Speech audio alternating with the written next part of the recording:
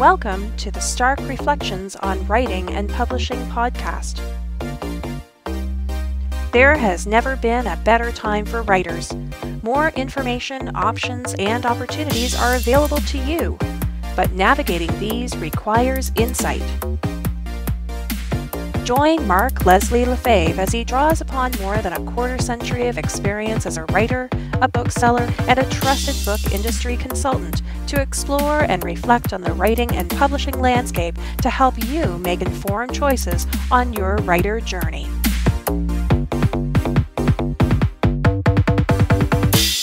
Hello, Reflectives, and welcome to episode 90 of the Stark Reflections on Writing and Publishing podcast. This is your host, Mark Leslie Lefebvre.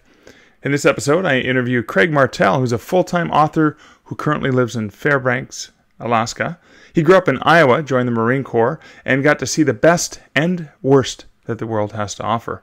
He then earned a law degree, but no matter where he went, he always had a book with him. At the age of 52, Craig retired from his other work and focused on full time writing, where he makes a really good living. His passion for writing has resulted in numerous best selling titles in the following genres space opera, military sci fi, space marine, colonization, and genetic engineering. Craig is well known in the indie author community as the head of 20 Books to 50K conferences, and in this episode, we talk about all that as well as his latest nonfiction book, Successful Indie Author Strategies. Now, I received some comments from recent episodes, and Michelle Norry commented on episode 88, which was called Indie Publishing, Not Self Publishing, with David Wind. And Michelle said, Hi, Mark, great podcast. I actually learned some stuff. LOL. I honestly have to say that I was biased against self publishing. Sort of on anyone can publish their crap and the good stuff will get lost in the sea of icky writing. I'll have to look out for this book as it seems to give great advice on how to get recognized. Once again, great job. Thanks for that comment, Michelle. I'm like you. I had the same approach to self publishing. When I first started as a bookseller, I would have self published authors bring these really crappy books into my store, and nine times out of ten, they were really, really crappy. So I started off with a, a bias against self published titles. Of course, I got into it in 2004 and, and learned that just like in traditional publishing, there's some crap that uh, should never be published. I mean, really, do we really need to read the Snooki bio? In any case, personal choice. I'm sure someone loves, I'm sure lots of people love the Snooki bio. But again, it's about taste and it's about quality, and we get into some of that with Craig. But um, I changed my mind, obviously, uh, about what indie publishing can be. So thanks, Michelle, for that comment. And Tracy Arial also commented on the same episode, and Tracy said, Thanks to Mark and David for a wide ranging discussion about the huge changes writers have faced in the last two decades. It's wonderful to have both of you as knowledgeable guides to outline potential pitfalls and pleasures as I begin experimenting with independent publishing. Thanks for that comment, Tracy. I love the fact that you're saying that you're experimenting uh, with independent publishing, and I think experimenting is key. You've got to try things, you've got to try different things. I'm glad you're aware of the potential uh, pitfalls, which is great, but it's always important that because this is indie publishing, you're independently minded and you know your goals and you know your audience and you know your writing and experimenting within that is is awesome. I wish you all the best of luck, and perhaps you'll be sharing some of those experiments with us in a future episode. So, thank you, Michelle, and thank you, Tracy, for your comments on episode 88. Because you commented on episode 88, you're now in the random draw along with Linda Lee for the chance to win a signed copy of David's book, The Indie Writer's Handbook. So, that's right. If I can do my math correctly, there's three of you, so that's like a 33.33333 or something like that uh, chance that you each have of winning one of those copies. Now, I'm recording this on Thursday, August 15th, and there is about 24 hours or so for folks to leave a comment on episode 88 for a chance to win David's book. All you have to do is leave a comment on episode 88 over at starkreflections.ca. Only comments entered before midnight Eastern Standard Time on Friday, August 16th are going to be eligible for a chance to win, and the winner will be announced in next week's episode, episode 91. Now, if you're listening to this episode too late to win, don't worry. There's always more opportunities to win and more options. For example, stay tuned. There will be a chance to win one of a few copies of Craig Martelle's new book just by commenting on this episode, episode 90. Details will be coming up after our interview. Speaking of winners, I know a really cool group of winners. Anyone sponsoring this podcast via Patreon are all winners. Oh, come on. All you listeners are winners too. But the patrons who uh, support this podcast over on patreon.com slash stark reflections are entered automatically for a chance to win david's book just by being a patron no comment required sounds like an old phil collins album. No jacket required no jacket required but I, I, maybe i should do an album called no comment required. Nah if you've heard me sing in previous episodes nobody wants that. But people might want a chance to win a second signed copy of david's book. So all patrons uh, will be entered into um, a draw for that second copy of uh, David's book, and um, and one of them will be the lucky winner, and will be announced in next episode as well. And this is a shout out to all patrons of the show with a thanks for your support. For $1, $3, or $5 a month, you too can be a patron of the show and get access to an additional chance to win books like David's, plus additional patron only content, which includes a special patron only series of podcasts. I just released the latest in the Stark Reflections on other podcast episodes, and in this one, I talk about my own reflections about the recent episode 85 of the Career Author Podcast, which is hosted by J. Thorn and Zach Bohannon. It's over at thecareerauthor.com. Now, both have been on two previous episodes of this podcast, and I'll have links to those episodes in the show notes. But in their episode 85, they talk about author pseudonyms, and I share a bit about the reasons and origin of my own Mark Leslie pseudonym, as well as why my friend Stephen King no, not the Stephen King you might already be familiar with, a much cooler Stephen King well, okay, the, the, the, the Stephen King you're familiar with is really, really cool, but so is my buddy from the Toronto area. But why Stephen King, who's also a writer and a friend of mine, chose to still use, use his own name for his books, even though there was that potential conflict related to the, the larger Stephen King that we're probably all familiar with. And again, check your feed. If uh, you are a patron, that should be coming to your feed uh, probably well before this episode gets to the air. Now, in terms of a quick personal update, I just got back from When Words Collide in Calgary, Alberta, which is an amazing conference, well over 800 attendees, and I did a few presentations there, including one called Leveraging Your IP and Maximizing Your Income as a Hybrid Author.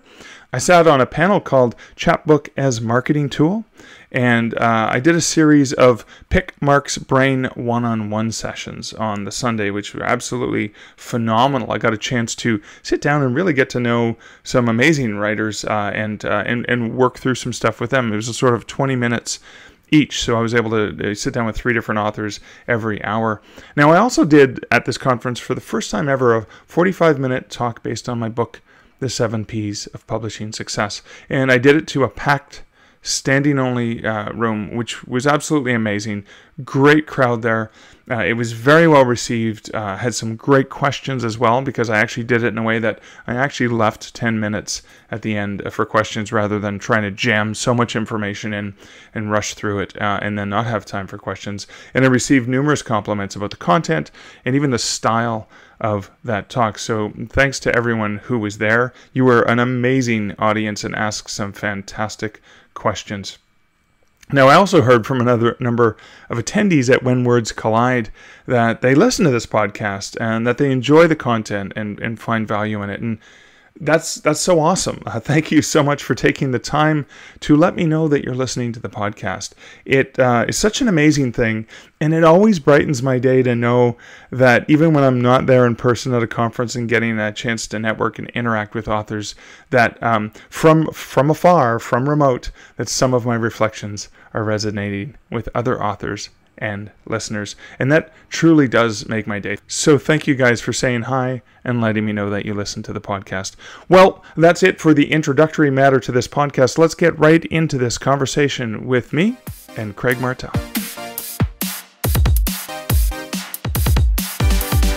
Hey, Craig, thanks so much for hanging out with me here today. Great to be on the show, Mark. Thank you. Thank you. Well, for those people who don't know who Craig Martelle is and why it is so critical that uh, somebody like you's written the books, you know, successfully successful indie author release strategies and become a successful indie author. Let's talk a little bit about your background. Now, I want to prompt you by using uh, sort of a quote or, or, a phrase that I've heard uh, in referring to who you are that you're a blue collar author with a law degree. Uh, is that a good way to prompt who Craig Martelle is? I, I think so because uh, yes, I have the law degree, but I believe in uh, you work as hard as you have to work and get your hands dirty. And uh, somebody asked me a couple days ago, "How hard do you work? How many hours do you put in?" And I told them, "Well, 12 to 14 hours a day, seven days a week." And I've been doing that for, uh, geez, uh, going on four years now. Okay. It, it, it helps make the difference. Oh, nobody can write a book a month. Well, if you're putting in uh, 300 hours a month, well, guess what? You can and and fairly easily but then how do you make sure it's a professional book? And i know you uh, said earlier you wanted to talk about uh, the logistics of being a an artist. Yeah yeah.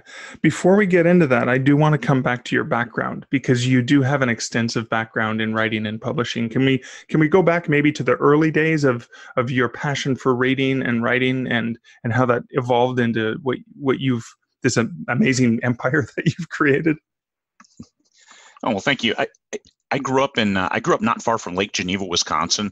A child of the '60s, and uh, in the '70s, I was in my teens. And guess what came out of Lake Geneva, Wisconsin, in 1974? And that was Dungeons and Dragons. I was real close to the epicenter, and so needless to say, I was uh, introduced to it early. 1976, I think my brother brought me my first copy. Uh, 1978, I met Jim Ward and Metamorphosis Alpha and so those games were uh, the at the core of my being. I read all of the Robert E. Howard. I read uh, Anne McCaffrey. I read everything I could get science fiction, fantasy at the time, Tolkien, you name it. And through my whole adult life, I was reading, I was gaming, I was uh, uh, one with the games, you know, the imagination wow. as a game master.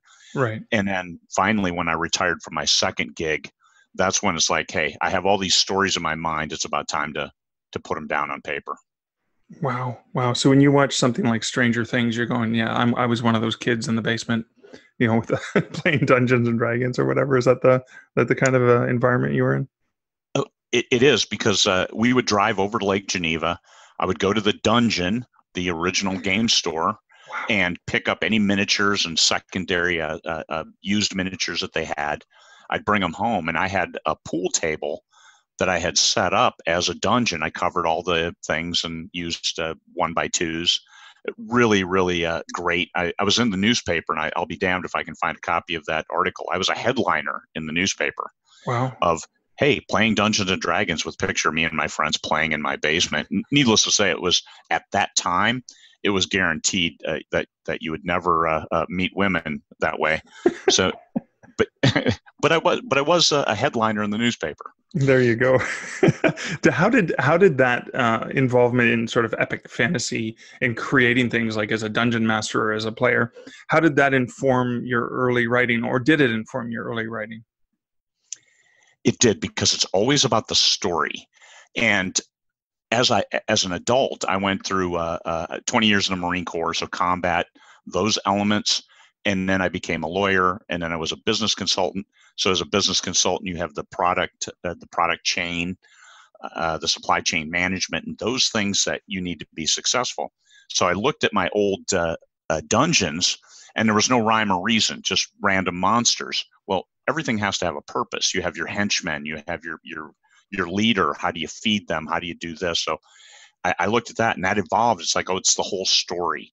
So why does anyone there's a dungeon. Why don't we just seal the seal the entrances and let's go party? and so many people, I want to go. Well, why do you have to go down a dungeon? And that's storytelling, and it uh, it becomes second nature when you build your modules, your scenarios that way. Okay, cool. And and you mentioned Marine Corps, and I want to get into that because one of the quotes from your book on release strategies talked uh, talks about amateurs talk tactics and uh, professionals talk logistics. So obviously, your experience in the Marine Corps has informed your uh, author business as well. It it is. Uh, a lot of people like, hey, I can write hundred thousand words in in two weeks, and I know people like that. But can you publish them? So now you need to have editors, you need to have covers for all those books. You had to have editing time, you have to have proofreader time. So that's what the that's where the logistics of yes, you can write the words, but can you bring the words to a product that is uh, competitive on the market that the readers will embrace and then buy the next book. So that's the that's the logistics train. So yes, the artist. So that's that you're talking tactics. Hey, I'm going to write four books this month, but I'm only going to publish one, and and things like that. I think Amanda Lee has a great process the way she works. In that uh, she writes her book now, and generally it'll be six months to uh, longer before it actually gets published, because she's she has that that uh, chain, that product development cycle is uh, intentional. A lot of intentionality behind it. Okay. Wow. Now f- there are there are folks who know you and who know your background and know what you've done, and and and and it's been relatively recent, probably in the last three or four years, that it's really taken off in an amazing way. But let's go back to your beginning uh, into the writing and publishing sphere. How did how did that first happen? And, and you know, so we can kind of get us to present day. When I retired from my second job, I thought, hey, I'm going to do stuff around my house. I live in Alaska. I have a couple acres, and uh, just cleaning up around the yard and stuff. So I cleared a lot of brush, and I was going to start a fire, and I actually started myself on fire and uh, stop, drop, and roll. And uh, I, I, did that. I had a, I had a second degree burn on uh, most of my leg because of uh, uh, all the gasoline. Yes, never use gasoline for a fire. So, so I decided that it wasn't safe for me to do that kind of stuff, and I wanted, and I said I, I always want to write a book, so let me write a book. Whenever I commit to doing something, I don't do it half-assed. So, I uh, 61 days, and I, and of course, being a business professional, I tracked everything.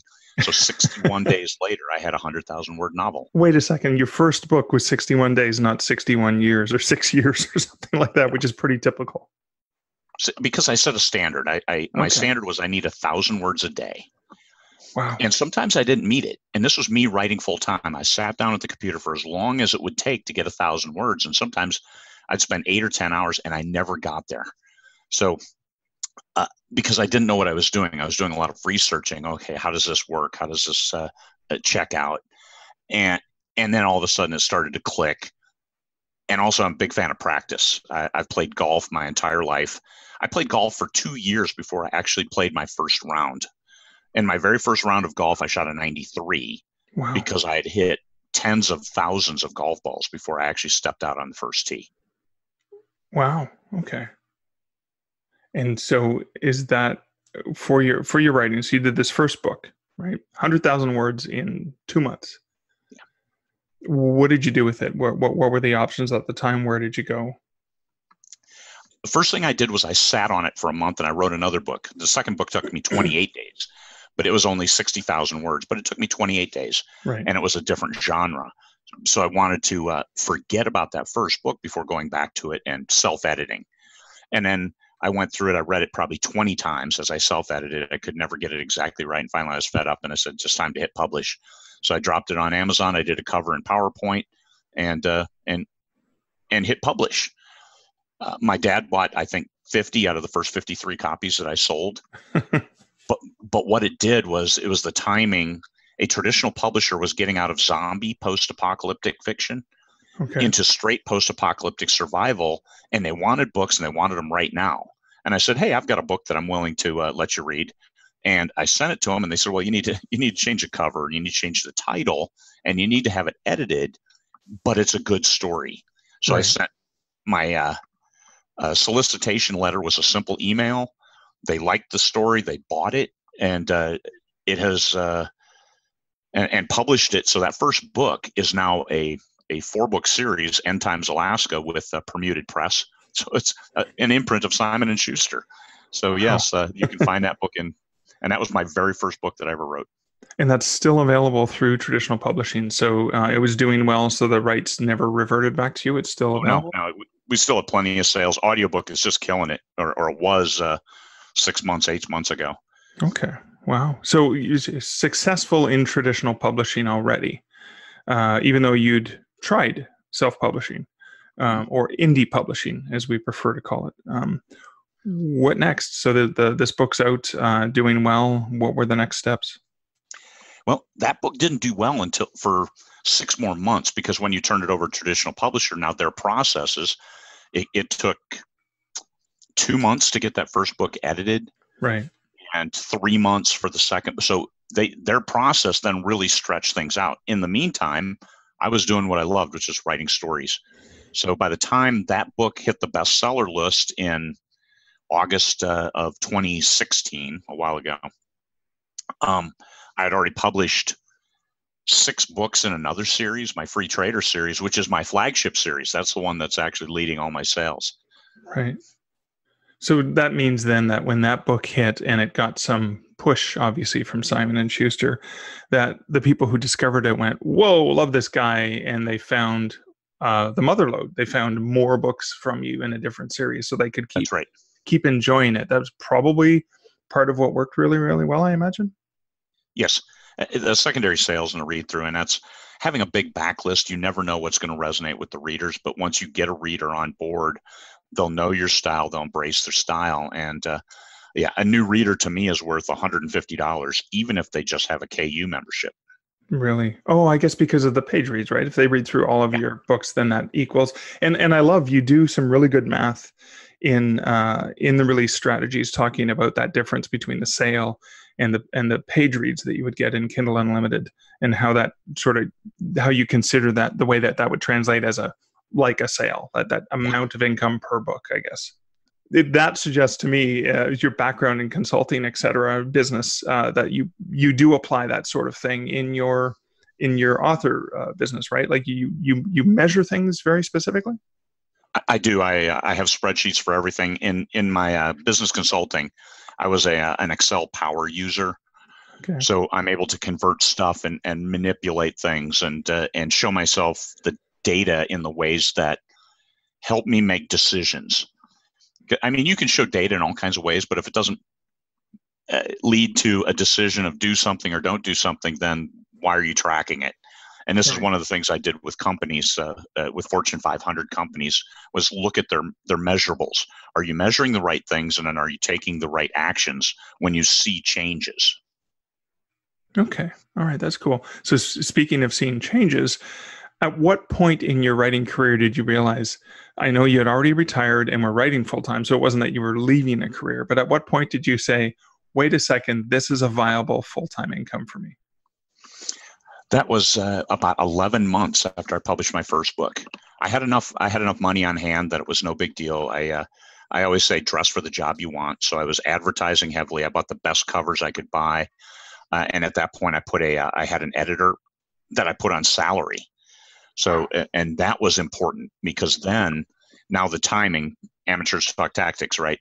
The logistics is she was ready. So whenever I dropped a book, I, I got instant service. So I never set, I never had a book more than a week with an editor.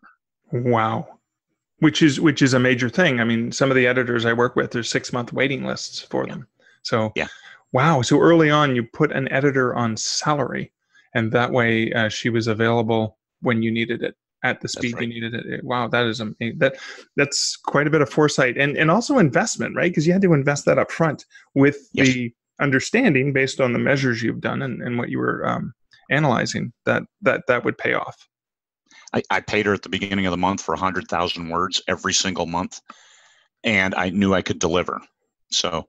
We uh, we continued that relationship for two years until she couldn't do it anymore because of other things going on in her life, and wow. then I moved to somebody else with the same with the same kind of program.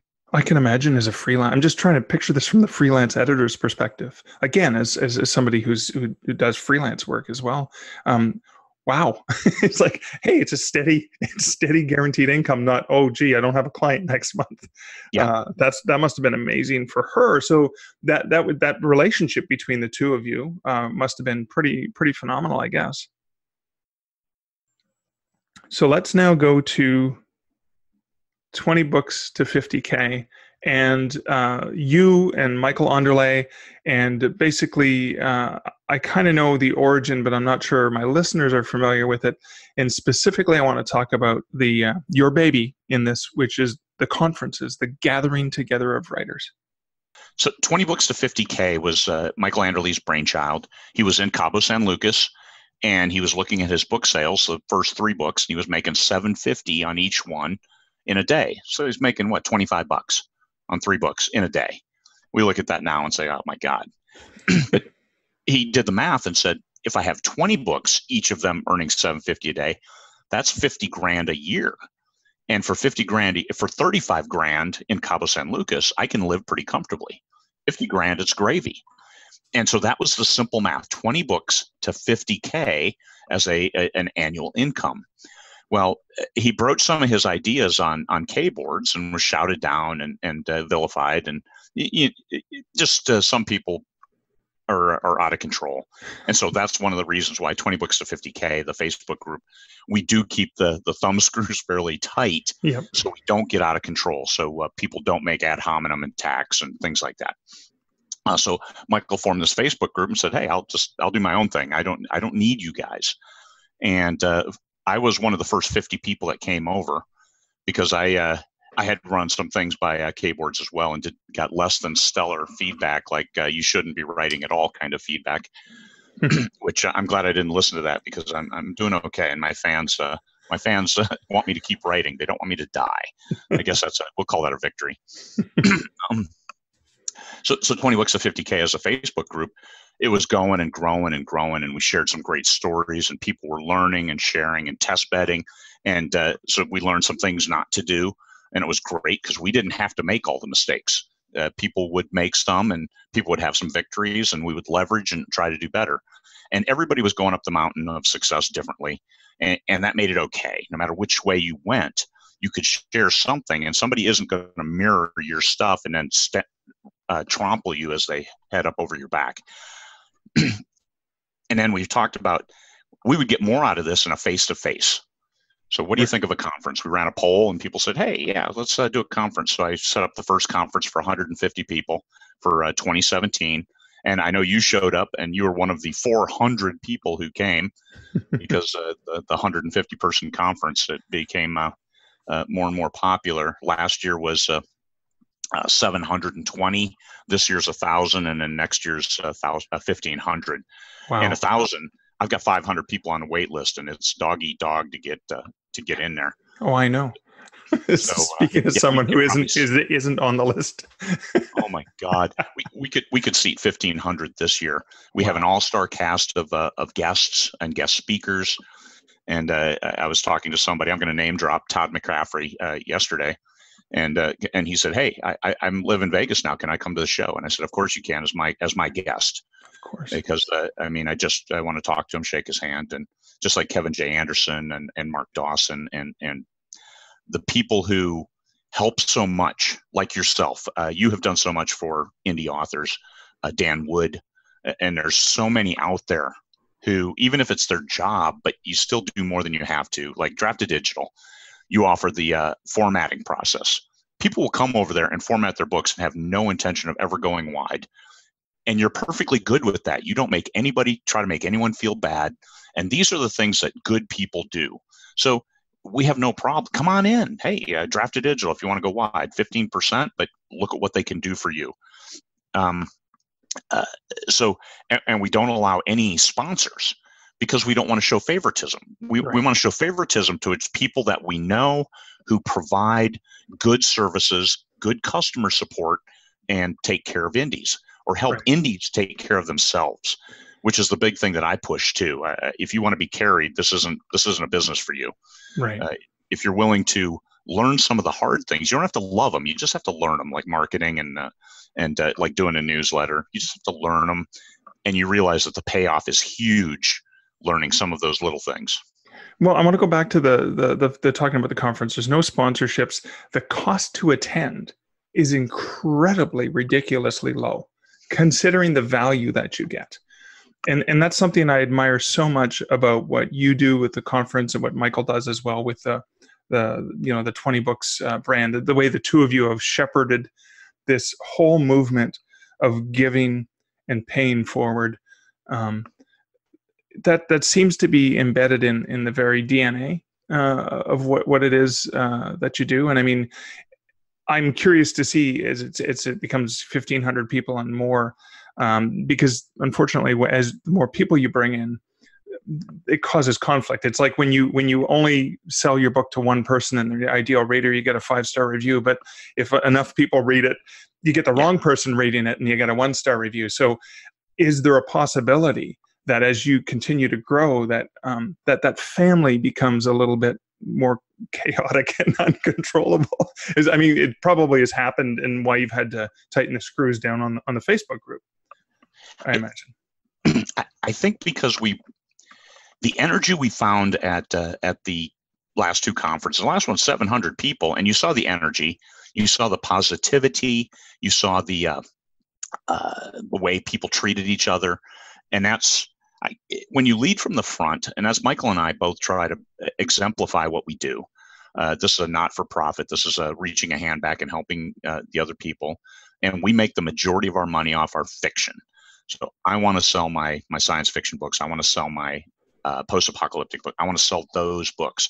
I write the nonfiction just to help myself uh, save save me time in the group because right. hey, uh, uh, I answered the questions in successful indie author. I answered those questions a hundred times, and I'm like, I- am tired of writing them down. So now we just say, hey, uh, buy the book, five bucks. You save Craig a lot of time, and all the answers are right there for you. Right so so that's uh, that's why the nonfiction the nonfiction does well because of the exclusive access to the group Right. So I turn that money around, and so whenever we have a luncheon, Michael and I pay for it, and I, I pay for it mostly because I uh, uh, use the revenue from the books. Okay. And when it, when it grows to fifteen hundred, will it still feel like a family? Yes, because of those people who have come the years before, and right. then they take leadership roles of just by just by uh, acting the right way, being the positive person, saying, "Hey, let's uh, let's talk about urban fantasy. I know, you're not stealing from me. You're just uh, we're just talking. Oh wow, that's cool. So let's uh, let's get into the books because we've been teasing people long enough. Um, now I recently uh, got them both and started reading the uh, successful indie author release strategies, and I wanted to talk a little bit about the thing that uh, appealed to me uh, when I saw it because I'm not a fast writer. Is that even on the back of the book it says, uh, "Do you publish one book a year or 20?" here's a secret you can be successful with either publish your books in a way that brings you the most readers and i love that you focus on that and and, and the way you talk about different people going up the mountain in, in different ways. Um, what's important then? Uh, if, if if the volume of books isn't important what is important in a release strategy? Managing reader expectations. If you release one book a year you just have to make sure that when you get that reader, and it's even more important than uh, if I release every month, people will see my stuff. But if you release once a year, they'll see your stuff and then you'll never see them again. They'll never see that author, even if they're consistent in publishing one a year, because there's nobody to tell them that that new book is out. So right. if you publish just one book a year, you, you really have to drive. Please join my newsletter. Please uh, uh, uh, subscribe to my blog, my Patreon, something that keeps them attached to you. Also, if you publish one book a year, something you need to take more into uh, uh, more to heart is marketing and advertising, especially if you want to make uh, full time money.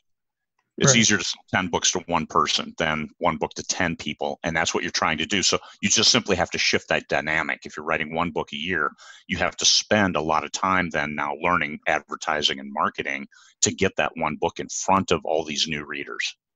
Okay. And prior to a book's actual release date, then, what are the things like maybe one of one of one of the two top things that an author needs to really seriously consider uh, for setting that date, maybe meeting that date? I mean, are, are there yeah, are there checklists? How, how does that how does that happen? I, I did put a couple checklists uh, with countdowns in the book, and those are those are very general. The big thing you want to do is you want to build interest in the book. Uh, if you're publishing fast, then you don't have time to do that. So actually, it, it works better if you're publishing like once a quarter. As soon as you finish the one book, you have some follow-ups, but then you're you're setting up that next book. And that's through snippets hey little caricatures uh, get some fan art of a character and show those and share that. So even if you don't publish a book you still want to send your newsletter to everybody and keep them engaged. Hey here's what's going on in my life. It's it's snowing again. It's raining again.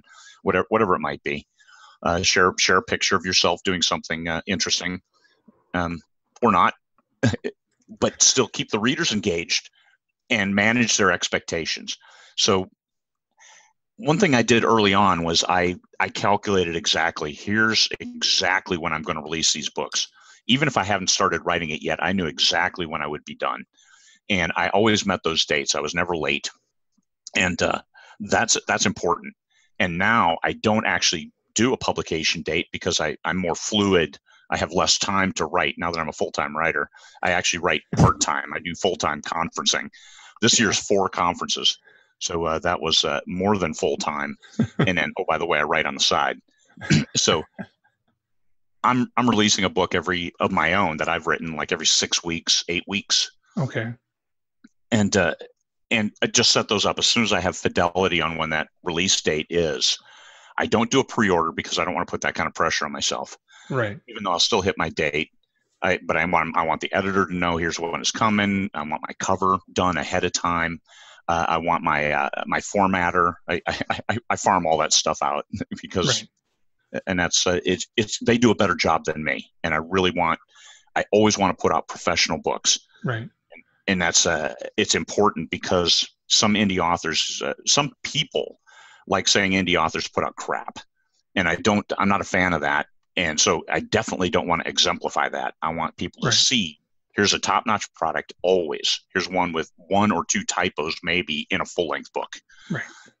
Although, I mean, I've been a bookseller since the early 90s, and not a single book gets published without a typo in it, whether it's the world's biggest publisher or you know the yeah. world's smallest indie author. Um, but I, I, think what's important, what you what you're saying there, is that your time is better spent on the creative uh, on the writing. You've got the professionals. You've got the right editors in place. You've got the right designers formatters because then you can very easily focus on you, you mentioned that thousand words a day early on or whatever it happens to be and obviously you have to divide your time up with the group and the and the community and obviously the conferences. Yeah because you just got back from overseas as i understand it. Yes. Edinburgh. We did a seven day uh, conference there, uh, five days of writing retreat and two days of actual conference. And that went exceptionally well, uh, much better than I, I, thought it would, especially since I was sick. That's why I thought it wouldn't go well. I, I, didn't think I couldn't give it my full attention. Right. But people were engaged and they came there. They knew what they wanted to accomplish. And the writing retreat part was really uh, above and beyond my expectations. Right. We got together people who got 10,000 words in a day who said at home, I can get 2,000 that just wow. I, mean amazing production and quality production because they shared. We had seven editors walking around and that they could say hey could you come take a look at this last paragraph i wrote? Was seven editors were there as well? Wow that's that's quite a this must have been a much smaller group obviously than vegas. We had uh, 200 on the conference days and about 120 for the writing retreat. So it was very very intimate in yeah. that regard. We didn't have a single group with more than about 25 group, meaning a genre like right. romance. We had 25 sci-fi. We had about 20. Cool. Did you did you get any writing done, or were you just too busy being an, an, an admin to everything? I, I, did some. I did an awful lot of editing. I, I have two new nonfiction coming out collaborations and uh, write compelling fiction that I'm co-writing with Larry Martin he wrote the original version and i'm adding in science fiction and also updating it for self-publishing because okay. his focus was on selling to legacy publishers. So those books will come out under the uh, successful indie author series brand. Oh awesome. Okay cool. So i mean i have the first two books in the series. That means i can get the next one. And the they'll all two, match. yes. or, yeah the next two in the series. We'll, we'll try to make them all glossy cover next now back to your fiction uh, you talk about um, writing to market, and and you show a beautiful Venn diagram of the things you're most passionate about, the stories you want to tell and need to tell, and the stories that will sell, and that there's a market for. And somewhere in that middle is that sweet spot. Um, how has that served you? Because you write in more than one genre. Like, how do you? Uh, does, does that obviously that changes what you're passionate about now versus you know uh, next next six months or something like that? It, it is. Uh, Michael Anderle and I spent a lot of time together in Edinburgh talking about what the next series will be, as I have, uh, uh, geez, like three or four series wrapping up. Right. What's going to be the next one? What's going to be the next big, big one for me? That one I can I can write passionately, but is in a in a market that uh, he is having wild success in. So look for a, a paranormal space opera coming in 2020 because that oh. space opera is just what I love. I, I, I just I love writing it. Awesome.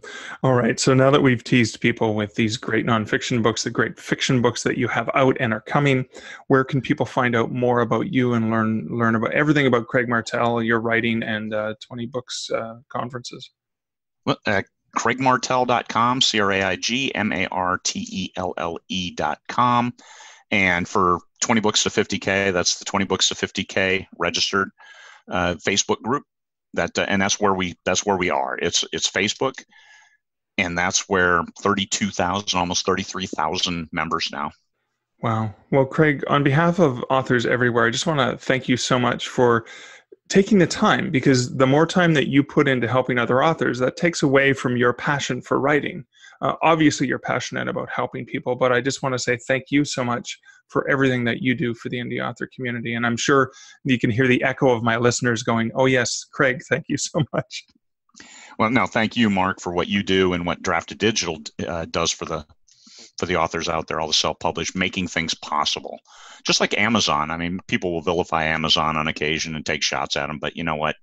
Uh, Amazon has made this all possible for us, and they have sent me some huge, huge checks, and I'm very thankful for them. So, so thank you. A- Amazon's bringing eight people to the conference in November. Wow, really? Wow, yeah. that's great. Because the, the well, if they were there last year, I didn't see any of the ones that I recognized. There was one person. Yeah. They were going to bring three, but they uh, uh, bagged out at the last minute. But this right. year, eight with uh, Audible, uh, KDP Print, um, KDP overall. Oh, is it Steve from Audible who's coming? I do not know. Okay. I do not know who from Audible is coming, but Audible will be there. Awesome. A podium will be there. Tantor, Findaway Voices. I don't think Dreamscape is sending anybody, so we're going to have a huge audio presence there. That's going to be amazing. Well, uh, I look forward to that, and for all the writers who are lucky enough to be either in or close enough to the short list, if some people can't make it, it's going to be an amazing one. But I'm sure if you're part of the Facebook group, you can kind of follow along and get a bit of a hint because last year, uh, as I remember, you were live streaming to the Facebook group mm-hmm. for for many of the events, right? And and last year we live streamed the main room only, and we caught a couple other videos. But this year we we are live streaming all three of the the main conference rooms, the Samsung Live, which has 850 seats in it, and then the other two. So we're live streaming all of the presentations and panels. Some of the small breakout groups we are not, but uh, we're going to have. We put it into Sched, and we have 79 sessions wow. that people can pick from. Wow. Excellent. Well, I don't want to keep you any longer because I know you, there's writing and editing you have to get back to and probably planning as well. Thanks, Craig, so much for your time. Thank you, Mark. Glad to be on. There's so much that Craig said that inspired me in so many different ways, but I want to kind of go back to him talking about Dungeons and Dragons. I know it's going to be a bit of an aside, but hey, this is my podcast, so it's my reflection. And when I was re listening back to that, I was thinking about Dungeons and Dragons and oh, how I used to play that. It was it was around the same era, and I loved creating adventures and and and and, and hanging out with uh, different people. I, I played with a few different groups. Uh, my, my buddy uh, Tom Potts uh, introduced me to Dungeons and Dragons, and I had the Monster Manual and I had a player's handbook and a Dungeon Master's Guide. And I still have the, the dice and I still have some of the figures uh, from those days. And I remember we would go to someone's basement uh, on a Sunday afternoon, or maybe Sunday, like you know, 10 or 11 a.m. And we'd have lunch there, and we'd be we'd be there for five or six hours. Or, or my buddy Greg Roberts, we would play in his basement, and sometimes we would play uh, after dinner and, and play until one or two in the morning uh, with different people and uh, even even just playing one on one. I remember there was a time I actually played Dungeons and Dragons uh, in in one of our classrooms. We actually uh, were supposed to be studying, and we were quietly passing notes and playing. so it was so much creativity involved in that. And and and as I said, I loved creating adventures and and these these new worlds and realms and backgrounds and stories and and and characters that uh, people would interact with. And I'd loved creating these adventures for my friends to go on. And in particular, related to Dungeons and Dragons, that really was a fuel for me for the very first novel I ever wrote, because it was derived from D and D adventures uh, that my buddy Tom and I did. Now, the, the very first novel I ever wrote was called The Story of Aaron Bok. Now, Bok, funnily enough, was BOC, Blue Oyster Cult, uh, a band that Tom loved. And so when he was naming his character, he always used stuff like that in it. Uh, my dear friend, Tom Potts, this, this is this barbarian character. Uh, he, the character was actually named Conan Bok, you know, obviously after Conan the Barbarian, but I knew very well that I couldn't use that. Even back then, I knew it was a violation of copy, copyright, uh, trademark, etc because we, we enjoyed reading the, the Conan the Barbarian, um, the comic books, as well as the oversized uh, graphic uh, novel comic books, which were a lot more violent and had a lot more sex and, and uh, naked women in it and stuff like that, which, you know, 14 year old boys, right? Now, the novel, the story of Aaron Bok, was filled with violence and, and fighting and epic clashes and swearing and plenty of sex. I mean, come on, I was 14 years old. I was I was young. I was hopped up on sugar and on life and I was a horny 14-year-old kid. And so so many of those fantasies worked their way into my writing back then. I was uh, most certainly a nerd, and uh, I was most at home in front of a blank page with a pen or a typewriter. And even prior to writing out long form, I used to do lots of uh, sketches and, and, stick figure comics and stuff like that. Now I wrote the um, the story of Aaron Bok, and it clocked in at perhaps 25,000, 30,000 words. And then the following summer, I worked on the sequel. Now, spoiler alert, because these are horrible novels, absolutely terribly written novels, and terribly conceived too. Uh, but I'll get to the point of that in a minute. Now, uh, spoiler alert: is Aaron Bok dies at the end of, of this book, and it's he's believed to be dead, I should say, when he sacrifices himself to save his best friend at the end of the first novel. And, and I remember I was I was reading so much on writing, and I was looking at themes in literature, and, and I actually took the the pride goeth before the fall quite literally and actually had him fall, not just the fall of his character, but the fall. And it was just sort of a weird misunderstanding that I had back then. But I had uh, Aaron plummet over a cliff, supposedly to his death on the rocky waters below, uh, in that novel's final scene. And so the sequel, The Search for Aaron Bok, you know, is the tale of his best friend Thundar Hunt. Yeah, and I, I know Thundar, I had to change the spelling of it from that cartoon character on TV. But Thundar learns uh, six years later that his friend is still alive and being held captive um, by somebody he had encountered or wronged previously uh, out of revenge. Now, this uh, sequel has uh, a bit less sex, but plenty of adventure and uh, and uh, additional secondary characters. And, and, and I spent another whole summer drawing out pictures to go with the book, and then and then working on that book. Now, I actually did a comic book version um, of the first book, The Story of Aaron Bok which I think the comic itself was the story of Conan Bok. And then when I wanted to seriously turn it into a manuscript is when I changed it to Aaron Bok. But it was cute how, uh, when I look back on it, because I, I still do have it, um, that some of my chapters were like one single spaced page. And I thought, wow, this is a long chapter. Now, my writing was, was pretty simple back then. I mean, I recently read a book that uh, I know an indie author uh, recently published and which has sold a ton and, and done really, really well. And I remember thinking when I was reading it that that I wrote better in grade six, or that my my shitty, you know, fourteen year old horny fantasy novel um, w- w- when I was fourteen that I hammered out on a typewriter w- was either on par or, or better than it, and and and it it was actually pretty crappy, but. I suppose that's one good thing about when I grew up in writing, because I didn't really have the option, and there were gatekeepers to prevent this horrible book from getting out there. Now, now this guy has gone on to become a very skilled writer. Now, he, he had put his first work out straight to Kindle and other catalogs. Now, I didn't have that option. Mine went into a drawer. And, and that's one of the interesting things that I think of is that my early work that wasn't ready for prime time stayed there and will never see the light of day unfortunately, so many authors today let that first work get out there, and uh, and and that can be a thing that can be damaging. Although even even if you get better, I'm I'm the kind of person who to know how far a writer has to progress in their journey. So I. Uh, I kind of forgive those lapses because I understand that a writer needs to grow, but that's that's an interesting thing. I had that benefit uh, that nobody ever saw that. Well, I mean, except really for for this one person. So the first young woman who ever truly won my heart. Someone I, I shared a passion for writing with at a really young age. So, around that age of 14, 15. She was a brilliantly creative and gifted person. And, and, and I shared so much of my early writing with her. This was kind of the first time I'd actually really opened my heart or opened my writing uh, to, to someone else who, who didn't knock me down, who actually respected me and appreciated me for who I was and what I was writing. Now, she was an incredible force in helping me realize my passion for writing and for storytelling, and, and that it was something that I could pursue, that I could actually do. She listened to me, she knew me, and she championed my writing. And she made an incredible difference to me, one that she'll likely never truly know.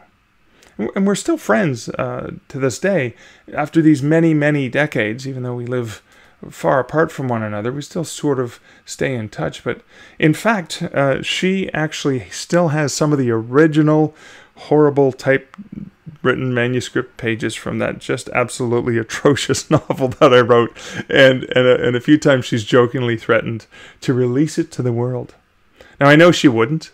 Uh, and even though our paths went in different directions, uh, when I think back uh, about her and I think back to her and, and, and to me, and I remember that incredible positive influence that she had on me in my own path to wanting to be a writer. It's why I dedicated my novel I, Death to her because she really made that significant difference. Uh, and, and I think in many writers' lives, there's that person who may not have realized they made that difference. And uh, and you know, thinking about Dungeons and Dragons and this horrible first novel from Craig really made me think that. Now, the reason I brought up the first novel that I wrote is that, like like myself and, and the indie author I talked about who put that first book out, our paths were, were different than Craig's. Now, he wrote his first novel later in life, um, you know, dedicated, committed to the craft and as a, a you know a business approach, and he sold that first novel to a publisher. Now, I cut my chops and I I learned dedication while working on my first novel. Not in the same way that Craig did, because uh, I wasn't yet skilled enough uh, at it, and it was sort of my first go at, at seriously writing a long project. So it was summer, I was 14 years old, I'm off for school vacation. My, I remember my friends were being out on their bikes and going swimming and playing tag and, and doing all the fun summer things that I wanted to do. But there I was in the basement, my parents' house, in in a, in sort of a, at a kitchen table in front of a, my mom's old Underwood typewriter, madly pounding the words onto the page and and creating what I felt back then was a truly original epic adventure. My friends would knock on the door and say, "Hey, you coming out? Are you going to join us here? Are you going to join us there?" And I remember the difficulty of of looking at that fun I could have with them, and then looking at what I wanted to do and the dreams I had of being a writer, and actually sitting down and doing the writing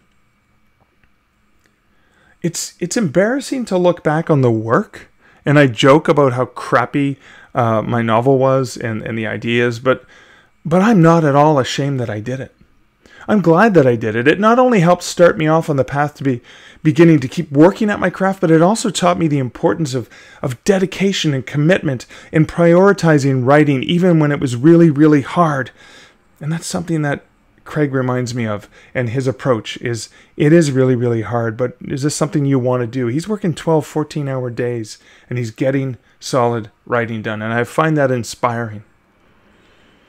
I look at Craig and I'm inspired and I even look at that 14 year old me who is wise in so many ways wiser than I am to this day. And I look back fondly at that skinny nerd and I send him my love and my respect so thank you, Craig, for reminding me of the things that I owe that young and hopeful kid who is worried about acne, wondering if he might ever actually be able to be a writer. I mean, wondering if he might ever actually have sex, wondering about all the possibilities. And I respect so much of what that 14 year old kid still teaches me and inspires in me to this day.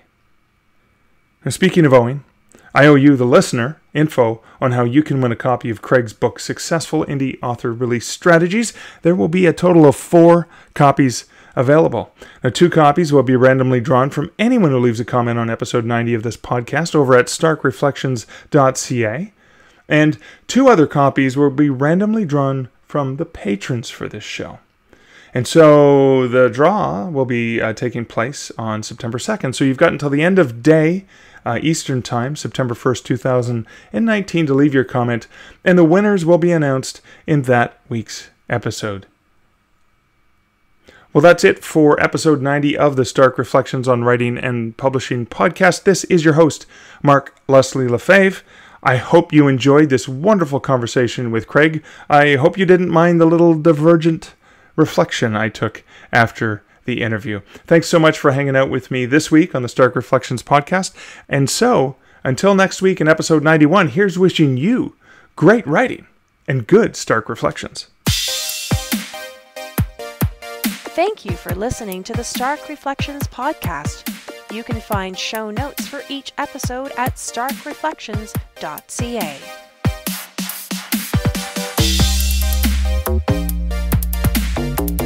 The music for this podcast, Laser Groove, was composed and produced by Kevin MacLeod. Check out more of Kevin's great music at incompetech.com.